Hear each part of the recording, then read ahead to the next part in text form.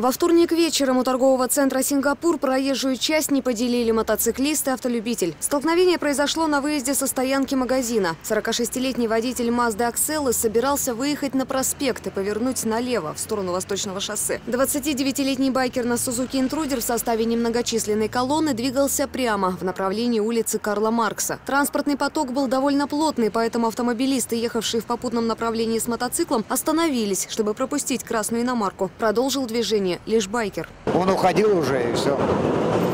Ну, уйти уже дальше не, не было возможности, видать. А сам мотоциклист тогда где?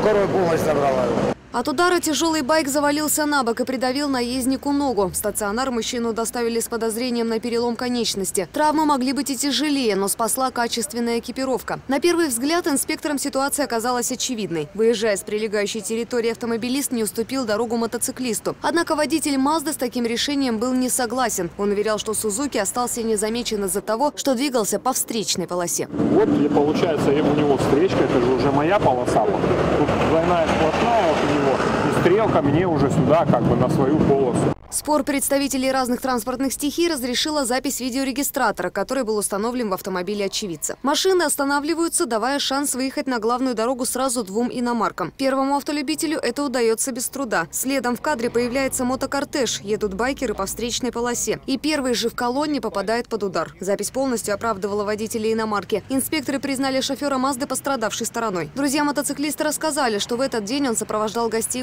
города. Приезжие собирались проделать долгий путь на запад, к родственникам. Маршрут предполагал остановки во всех крупных городах страны. Вы, получается, с Сахалина на Украину едете?